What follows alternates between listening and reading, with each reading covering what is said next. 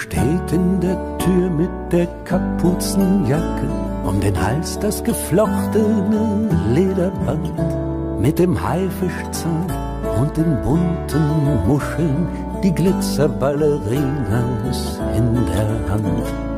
Sie geht und steigt ein in das winzige Auto, tippt noch ein Ziel, einen Namen ein, dann fährt sie zu einem den ich nicht kenne, doch ich rate dem Kerl gut, gut zu ihr zu sein.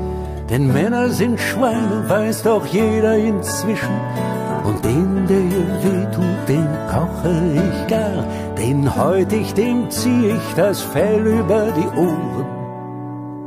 Sie winkt, fährt davon, Spannen und Schleifen und Bänder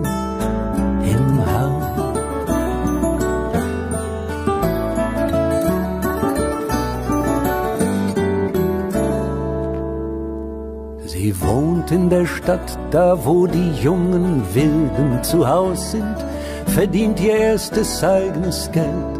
Die Leute in ihrem Job haben sie gern. Sie ist angekommen in ihrer Welt.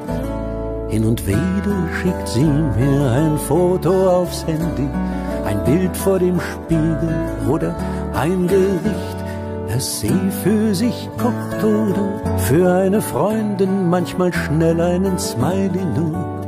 Vergiss mal nicht. Manchmal ruft sie mich an, weil eine Lampe flackert, ein Wasserhahn tropft. Ja klar, ich komme ja schnell. Dann mach ich noch einmal den furchtlosen Retter.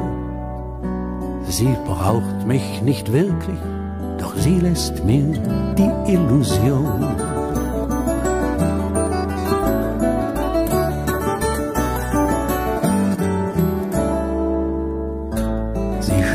In der Tür, sieht sich über die Schulter mit diesem Lächeln im Fortgehen. Die Züge, der Blick, der Gang ihrer Mutter, dazu ihr ganz eigenes Mysterium. Manchmal denk ich, wenn sie ein kleines Tier wäre, würden alle verzaubert im Zoo vor ihr stehen. So flinke, so funkelnde, blitzende Augen, man käme von fern, um die einmal zu sehen. Und in ein Gefühl von Stolz fließt die Erkenntnis, ich hab an dem Werk nur geringen Verdienst. Ich habe ja nur das T-Shirt beigetragen. Die Spangen und Schleifen und Bänder im Haar, die Jeans